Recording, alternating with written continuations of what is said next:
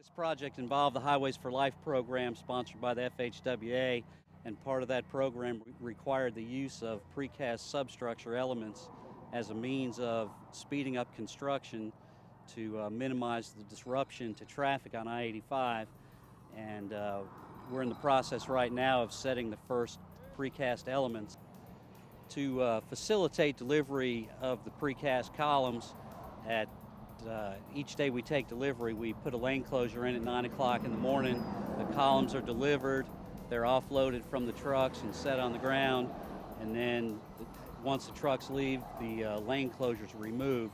So the disruption to traffic is kept to a minimum.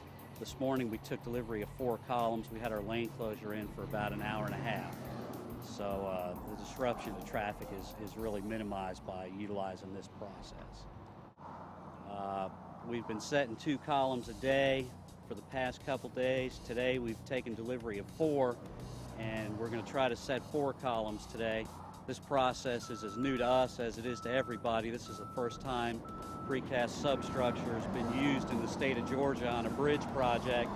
So we've been going through the process slowly, trying to go through the learning curve and uh, develop an efficient way to, to erect this precast.